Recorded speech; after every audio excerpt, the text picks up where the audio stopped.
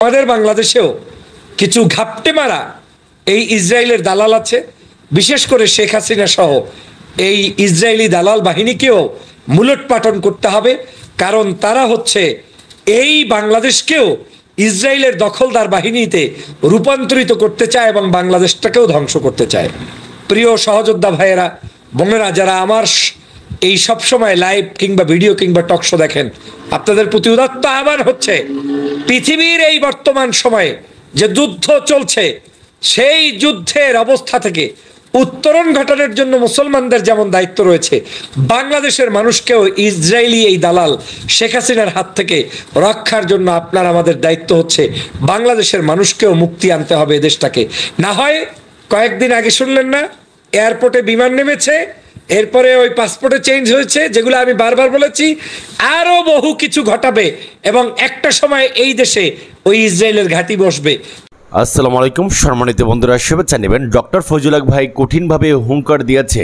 আমাদের মাননীয় প্রধানমন্ত্রী শেখ হাসিনা, সে কি ইসরায়েলি দালাল? বিভিন্ন প্রসঙ্গ তুলে ধরেছে ডক্টর ফজল ভাই। আমরা অনেক তথ্য পাবো আজকের নিউজে ইসরায়েল নিয়ে, ইরান নিয়ে অনেক তথ্য দিয়েছে আজকের নিউজে এমনকি বাংলাদেশে বর্তমানে যে ইসরায়েলি দুইটি বিমান এসেছে, বিভিন্ন প্রসঙ্গ তুলে ধরেছে ডক্টর ফজল ভাই। আমরা কথা বাড়াচ্ছি না, চলে যাচ্ছে স্কেনে আপনারা জানেন যে ইরান সামান্যতম একটু ইঙ্গিত দিয়েছে, সামান্যতম হামলা শুরু করেছে। আজকের ইসরায়েলের অবস্থা এখন নাস্তনাবুদ হয়ে গিয়েছে। মুসলিম শক্তিধর একটি রাষ্ট্রের অন্যতম রাষ্ট্রের নাম হচ্ছে ইরান।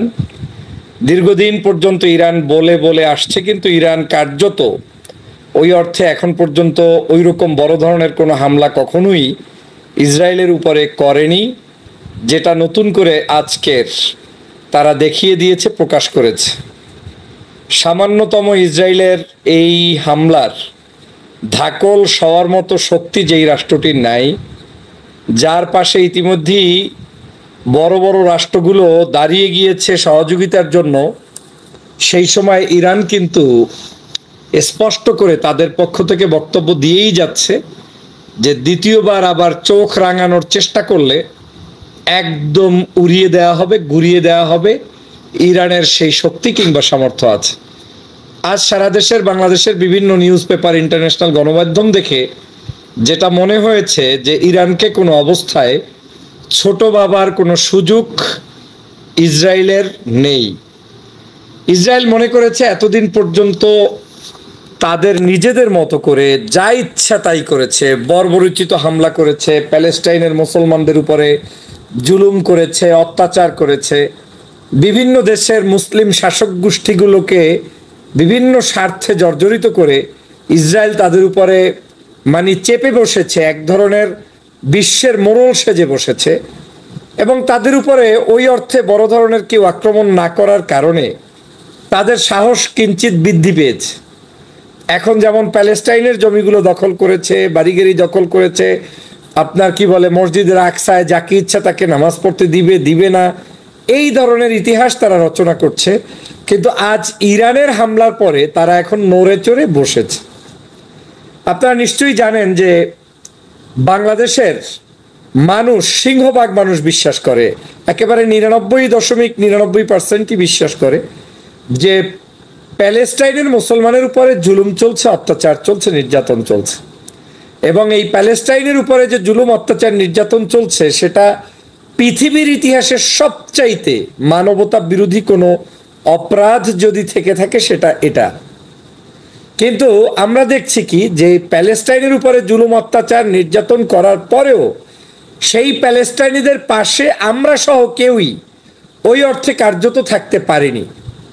আপনারা জানেন, আজকে যখন তিন দিক থেকে আক্রমণটা হয়েছে ইরানের উপরে। মানে ইরান আক্রমণ করেছে প্যালেস্টাইনের। আজকের মুসলমানদের রক্ষার স্বার্থে হোক এবং ইরানের নিজস্ব স্বার্থে হোক, তারা আজকের ইসরায়েলের উপরে যে আক্রমণটা করেছে, সেখানে হুতি এবং হিজবুল্লাহ যখন, তিনটি গ্রুপই যখন এই যৌথভাবে, বিভিন্নভাবে যুক্ত হয়েছে, তখন কিন্তু কার্যত এই ইসরায়েল সে অসহায় হয়ে গিয়েছে। তাদেরকে আমরা দেখেছি যে আজকে পত্রপত্রিকার বিভিন্ন জায়গায় ইতিমধ্যে যে তারা মূলত তাদের ওখানে ঈদ আনন্দের মতো চলছে মানে বহির্বিশ্বে। আজকের এই হামলাটাকে এক ধরনের ঈদ আনন্দ হিসাবে নিয়ে নিয়েছে। অনেকে ভাবতে পারেন যে এই হামলায় কতজন ক্ষয়ক্ষতি হলো, কতজন মারা গেল। আপনাকে তো প্রতিদিনই মারছে ভাই, আপনাকে তো প্রতিদিনই শেষ করে দিচ্ছে। প্যালেস্টাইনের মুসলমানদের তো কোনো রক্ষা আজ পর্যন্ত হচ্ছে না। কত হাজার মানুষকে হত্যা করেছে তারা, আপনার কোনো, তার কোনো ইয়াত্তা নেই। এই সাম্প্রতিক সময়ে পঞ্চাশ হাজারের অধিক মানুষকে তারা হত্যা করেছে। ওদের কাছে হত্যা এখন হয়েছে দৈনন্দিন ব্রেকফাস্ট, দুপুরের লাঞ্চ, রাতের ডিনারের মতো। সেই জায়গায় ইরান যখন শক্তি নিয়ে দাঁড়িয়েছে, এই দাঁড়ানটাকেই আমি বড় প্রতিবাদ মনে করি। এবং এই দাঁড়ানোটা যদি কন্টিনিউয়াসলি আরব বিশ্বের অন্য অন্য রাষ্ট্রগুলো আরেকটু শক্ত অবস্থান করে ইরানের পাশে থাকে, তাহলে আমার মনে হচ্ছে অন্য অন্য বিভিন্ন জায়গার যেভাবে সংস্থাগুলো দাঁড়াচ্ছে। আপনার হিজবুল্লাহ, জুথি, অন্যান্য, এই হুতি, টুতি, অন্যান্য যত সংস্থা আছে যারা কাজ করছে, তারা কিন্তু যদি এভাবে আক্রমণগুলো চালায়, এই ইসরায়েলের পক্ষে পালানো ছাড়া আর কোনো গতি থাকবে না। ওদের এমন কি আছে? ওদের কাছে আছে কি? ওদের হচ্ছে, ওদেরকে জিয়ে রাখছে একটি রাষ্ট্র। এই পরাশক্তিধর রাষ্ট্রটি তাদের স্বার্থে তাদেরকে জিয়ে রাখছে, কারণ মধ্যপ্রাচ্যে এই গ্যাঞ্জাম বারো মাস লাগিয়ে রাখতে চায়। আর এই মধ্যপ্রাচ্যের যে ধন সম্পদ আছে, সেটাকে লুটপাট করে ওরা খেতে চায়। আর কিছুই না। ওরা আমাদের তৈল, ওরা আমাদের স্বর্ণ, ওরা আমাদের গোপন যত ধরনের খনিজ সম্পদ আছে, সবগুলোকে লুটে পুটে খাওয়ার জন্য এখানে সব সময় একটি চক্রকে জিয়ে রাখতে চায়। সেই চক্রের নাম হচ্ছে এই ইসরায়েল। ইরান যে সাহসী ভূমিকা রেখেছে, আমি আমি অবশ্যই ধন্যবাদ জানাই। ইরানের উপরে এর প্রতিকারে কি হবে, কখন হবে, কয়টার সময় হবে, সেটার জন্য ইরান ভালোই প্রস্তুতি নিশ্চয়ই তারাও রেখেছে। না হয় তারা তাদের স্পষ্ট করেই তো তারা ঘোষণা দিয়েছে যে আমাদের অ্যাম্বাসিতে ঢুকে তারপরে সেখানে মানুষকে তেরো জনের অধিক নাগরিককে, তারা নাগরিক মানে কি? সাধারণ নাগরিক নয়। প্রত্যেকেই হচ্ছে তাদের প্রশাসনিক, সামরিক শাখার লোক। তাদেরকে মানে হত্যা করেছে, তার প্রতিবাদ স্বরূপ ইরান কিঞ্চিতেই জবাব দিয়েছে। আমি মনে করি, আমাদের এই জবাবের মাত্রা যদি চলমান থাকে, তাহলে এই প্যালেস্টাইনেরও বিজয় সম্ভব এবং এই ইসরায়েলের পতন নিশ্চিত হবে যে পতনটা এই বর্তমান সময়ের মানুষ দেখে যেতে সক্ষম হবেন। আপনার বিবেকের কাছে প্রশ্ন তোলেন যে কত বড় বর্বরচিত হামলা অব্যাহত রাখতে পারে একটি দেশ। তারপরেও কেউ কেউ এখন ইসরায়েলের পক্ষে মিটিং করে বলছে বলছে যে আমরা ইসরায়েলের সামরিক শাসককে, শাসনকে মানে তাদের সামরিক গোষ্ঠীকে সমর্থন করে যাব যারা এই, কি বলে, যুদ্ধে অংশগ্রহণ করবে। তার মানে প্যালেস্টাইন নির্যাতিত হচ্ছে, তার পক্ষে কেউ নাই। ইসরায়েল জুলুম করার পরেও ইসরায়েলের পক্ষে তারা দাঁড়িয়ে যাচ্ছে। আমাদের মনে হয় ভাবার সময় এসেছে। আমাদের মনে হয় জাতপাত দেখার সুযোগ এখন আর নেই। কে সুন্নি, কে শিয়া, কে অন্য মতাদর্শের, এগুলো দেখে কান্ট্রিকে যেভাবে আদর্শগত বিষয়গুলো রয়েছে, সেটার দিক বিবেচনা না করে বরঞ্চ এখন কাজ হচ্ছে সবার আগে উদ্ধার করা এই প্যালেস্টাইনের মুসলমানদেরকে। আর এই প্যালেস্টাইনের মুসলমানদেরকে রক্ষা করতে হলে ইরানের শক্তি অবশ্যই ব্যবহার করতে হবে।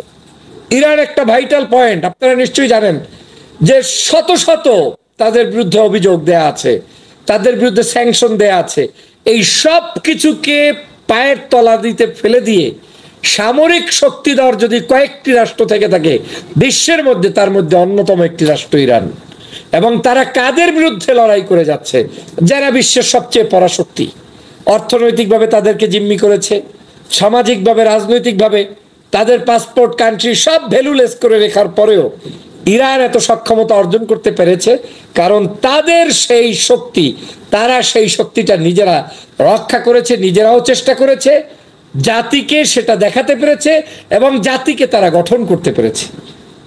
কিন্তু আজ বিভিন্ন দেশে ওই ইসরায়েলের কিছু দালাল ঢুকে গিয়েছে, যে কারণে সেই সকল দেশগুলো থেকে যে পরিমাণ সমর্থন, সাপোর্ট এবং সহযোগিতা দরকার, সেটা পেলে এতদিনে প্যালেস্টাইনের মুক্তি হতো, সেটা হয়তো এখন পর্যন্ত আমরা কেউ দিতে পারিনি। কিন্তু আমার মনে হচ্ছে যে সময় এসেছে, এখন আমাদের যা করা উচিত সেটা হচ্ছে প্যালেস্টাইনের মুসলমানদেরকে যেমন রক্ষা করা উচিত, ইসরায়েলের হাত থেকে বিশ্বের মুসলমানদেরকে রক্ষা করা উচিত, এবং এই সন্ত্রাসী রাষ্ট্রের কাছ থেকে বিশ্বের সকল মানুষকেই রক্ষা করা উচিত। ওরা সেবার নামে ওরা অর্থনীতি ডেভেলপমেন্টের নামে, ওরা বিভিন্ন প্রোডাক্টের নামে আপনাকে আমাকে কিনে ফেলেছে। আজ আমাদের টাকায় আমাদেরকে হত্যা করছে।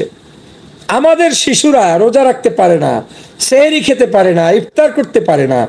একটু বৃষ্টির মধ্যে একটা তাঁবুর ভিতরে ঘুমানোর জায়গা পায় না। সামান্যতম কি বলে আপনার, এই যে সাহায্য নিতে গেলে সেখানে তাদেরকে, তাদের উপরে আক্রান্ত করা হয়, তাদেরকে গুলি করা হয়, হত্যা করা হয়। এটা তো কোনো মানবতার কাজ নয়, বন্ধুরা আমার। আজ এই ধরনের বর্বরচিত কাজ এখন হচ্ছে। তবে খুশির নিউজ হচ্ছে যে বিপর্যস্ত হয়েছে, হুইচাল বেজেছে, আপনারা দেখেছেন? এই বিশেষ ওদের বিমান চলাচল বন্ধ থেকেছে, ওদের জনগণকে মানে মিটিং মিছিল করতে নিষেধ করেছে, এক হাজারের নিচে লোক হলে মিটিং করতে পারবে, এক হাজারের অধিক হলে কোথাও মানুষ গ্যাদারিং করতে পারবে না। ওরা ওদের সকল নাগরিকদেরকে এবং ওদের নিজেরাই স্বীকার করেছে যে যে পরিমাণ ক্ষয়ক্ষতি হয়েছে সেটা ওরা মানে স্বীকার করে নাই, কিন্তু ওরাই বলেছে হ্যাঁ আমাদের কিঞ্চিত ক্ষতি হয়েছে। কিন্তু ইরান দাবি করছে যে, না কিঞ্চিত নয়। ইরানের আশা যা করেছে, তার চেয়ে বেশি পরিমাণ তাদেরকে আঘাত করতে পেরেছে। এবং আমি তাতেই খুশি হয়েছি। আমাদের মুসলমানদের একটু হলেও যারা অন্তত মানবতার জন্য লড়াই করছি, তারা ঈদের শুভেচ্ছা, আমরা কিঞ্চিত এখান থেকে আনন্দ অনুভব করার সুযোগ পেয়েছি। আমি ব্যক্তিগতভাবে পেয়েছি। আমি প্রত্যেকটি হিউম্যানিটির পক্ষে, কিন্তু কখনোই আপনি আমাকে জুলুম করতেই থাকবেন, মারতেই থাকবেন, আর আমি একেবারে চুপ করে ঘুমিয়ে মৃত্যুবরণ করব, এটার নাম তো হিউম্যানিটি না। আজকে ইরানের মানুষদেরকে হত্যা করছে। তাদের এম্বাসিতে ঢুকে তাদেরকে তেরো জন নাগরিককে হত্যা করেছে। আজকের চল্লিশ হাজার, পঞ্চাশ হাজারের অধিক মানুষকেই এই সাম্প্রতিক সময়ে প্যালেস্টাইনের মানুষদেরকে হত্যা করছে। আর আপনি আমি মিছিল আর একটু ডাল চাল উঠিয়ে চাঁদা দিয়েই ক্ষান্ত আওয়ামী লীগের মতো দালালি যেটা শেখ হাসিনা করছে, ওই উপরে উপরে বিবৃতি দিচ্ছে, তলে তলে সব ইসরায়েলের বন্ধুতে রূপান্তরিত হয়েছে শেখ হাসিনা। এরকম করে কিছু মোনাফেক প্রত্যেকটি রাষ্ট্রেই এই ইসরায়েল গঠন করতে সক্ষম হয়েছে। সে কারণে এখন পর্যন্ত প্যালেস্টাইনের মুসলমানদের মুক্তি হয়নি। আমাদের আজকে যেভাবে বিপর্যস্ত হয়েছে সমগ্র ইসরায়েলের, আমার মনে হচ্ছে এই ইসরায়েলের বিপর্যস্ত অবস্থাটা যদি আরও একটু সময় নিয়ে চলমান থাকে, ওদের সাহসিকতা যদি অতিরিক্ত বৃদ্ধি পায় এবং ওরা যদি বাড়তি কিছু করে, আমার মনে হচ্ছে এবার হয়তো ওদের শেষ রফা দফা হতেও পারে। আমাদের দোয়া যেমন করা উচিত, পাশাপাশি মুসলিম বিশ্বের সমগ্র নাগরিকদের, ওদেরকে একত্রে মানে প্রতিহত করা উচিত, প্রতিবাদ করা উচিত এবং প্রতিরোধ করে ওদের বিরুদ্ধে গর্জে ওঠা উচিত। এবং সেটা যদি সক্ষম হয়, আপনি দেখেন এক ইরানের হামলায় চুপসে গিয়েছে। আমেরিকা বলতে বাধ্য হচ্ছে যে আমরা এখনই কোনো কিছু করব, এটা বলতে পারছি না, আমরা করব না। আমরা আঘাতের বিনিময়ে আঘাত করবে সরাসরি এই সাহসটা দেখাতে পারছে না।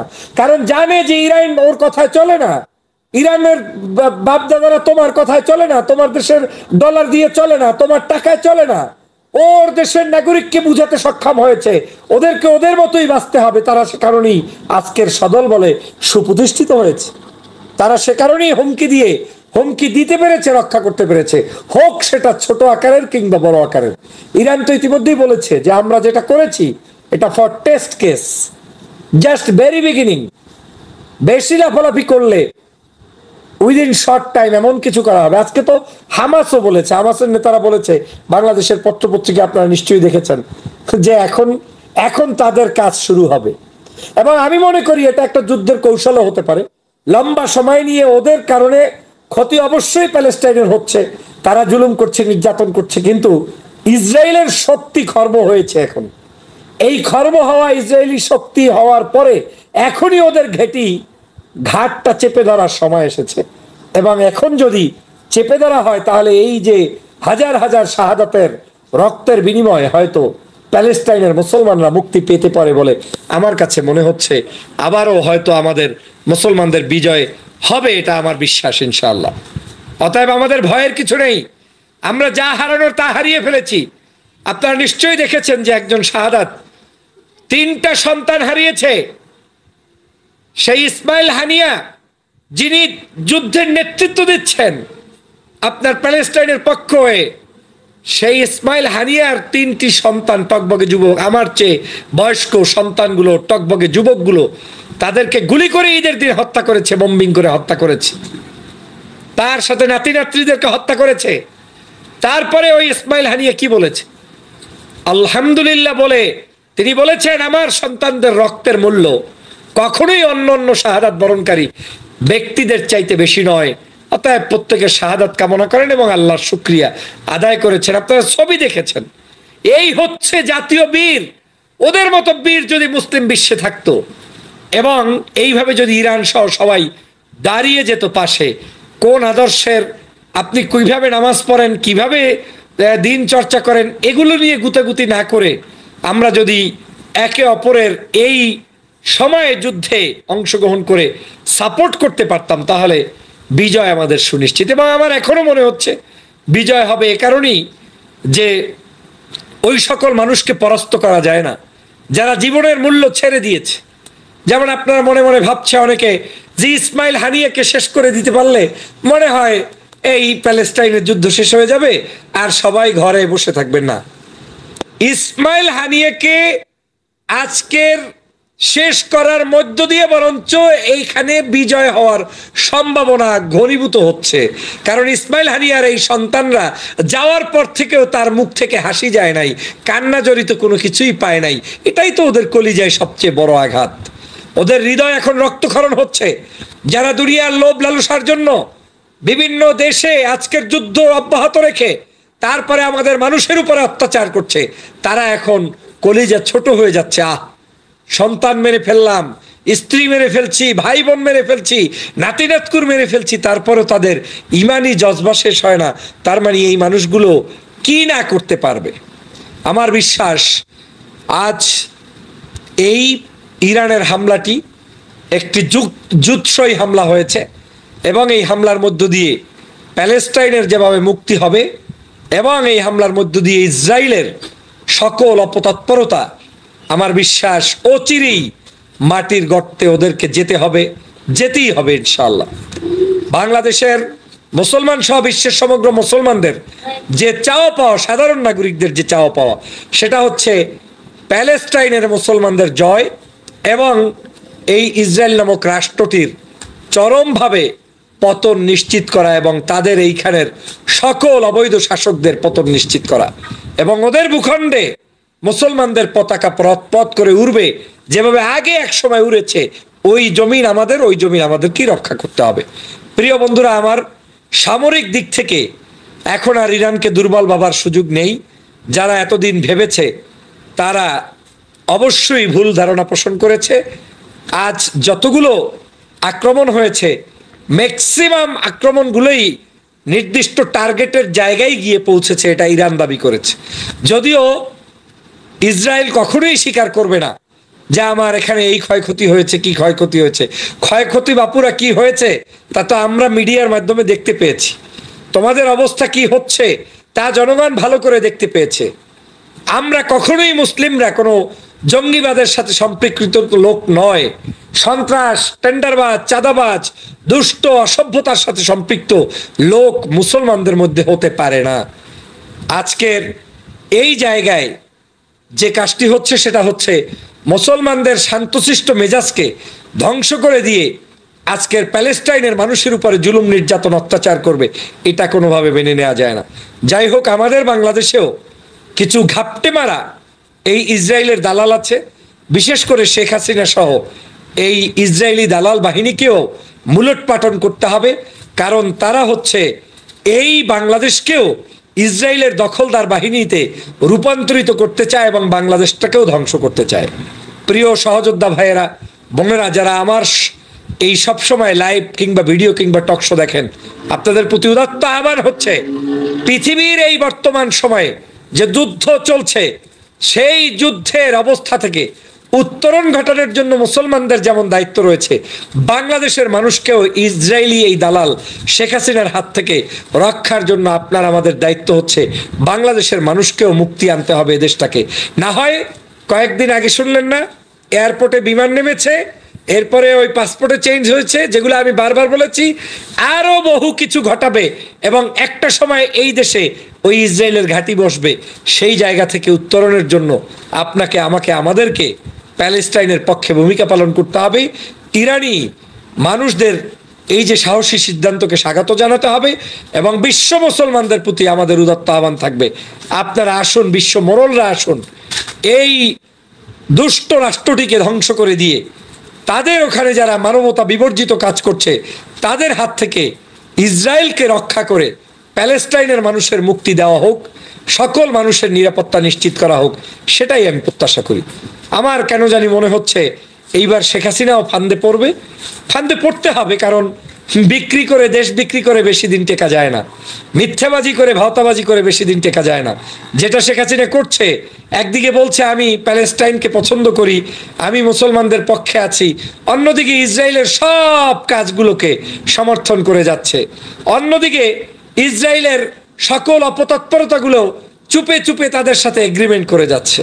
অতএব সেটা আর বাংলাদেশেও যেমন করতে দেওয়া হবে না, এবং আরব বিশ্বেও, আমি বিশ্বাস করি তারাও একটু সতর্ক হলে ওদের হাত থেকে আমাদের এই প্রিয় মাতৃভূমি যেমন রক্ষা করা সম্ভব, আমাদের এই প্যালেস্টাইনের মুসলমানদেরকেও রক্ষা করা সম্ভব। আসুন, জীবনে বাঁচবেন কতদিন? অন্তত ইসমাইল হানিয়ার মতো আমাদের সবাইকে এই জায়গায় ভূমিকা পালন করে মুসলমানদের রক্ষার্থে, জীবন রক্ষার্থে এগিয়ে আসতে হবে। একজন ইমানদার ইসমাইল হানিয়ার চোখে পানি নাই, সন্তান মৃত্যুর পরে নাতি নাতৃ মৃত্যুর পরে, তাহলে আপনি, আমি, আমরা যদি সেই জায়গায় ততটুকু ইমানদার ব্যক্তি হতে পারতাম, তাহলে আমাদের এই দুর্দশা থাকতো না, প্রিয় বন্ধুরা আমার। স্বার্থের বিরাজলে বিভিন্ন ছালচাতুরির মধ্য দিয়ে ওরা আজকের আবদ্ধ করে ফেলেছে মুসলমানদেরকে এবং মুসলিম রাষ্ট্রগুলোকে। সেই জায়গা থেকে মুসলিম রাষ্ট্রগুলোকে, মুসলমানদেরকে সচেতন হয়ে আমাদের সবাইকে এগিয়ে আসতে হবে। আমরা যদি একটু এক হতে পারি, তাহলে যে বিপর্যস্ত করা সম্ভব সেটা আজ প্রমাণ হয়েছে। সামান্য, কিচ্ছুই না। হিজবুল্লাহ হুতি আর কি বলে, ইরানের সামান্যতম হামলায় ওদের অ্যাক্টিভিটিস বন্ধ।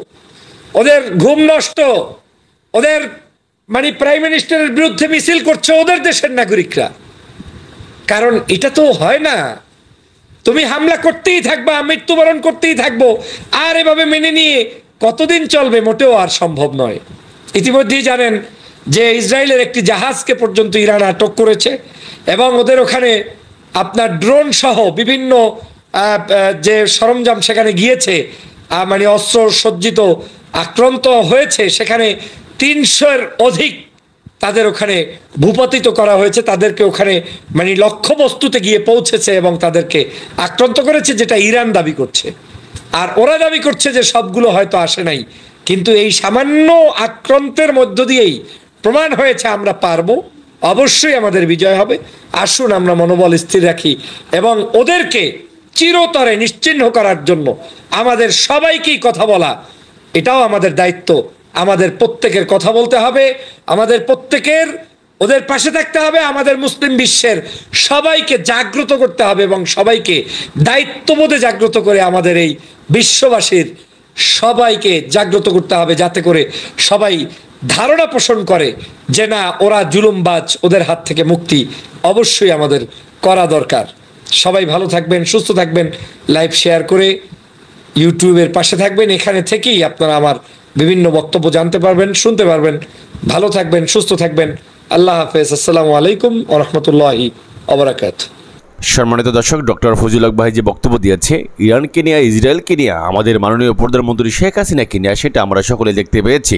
সম্মানিত দর্শক, সে যে বক্তব্য দিয়েছে, আমাদের মাননীয় প্রধানমন্ত্রী শেখ হাসিনা, কেনিয়া ইসরায়েলকে কেনিয়া, এই বিষয় নিয়ে আপনাদের মতামত কি অবশ্যই মেসেজ করে জানাতে পারেন।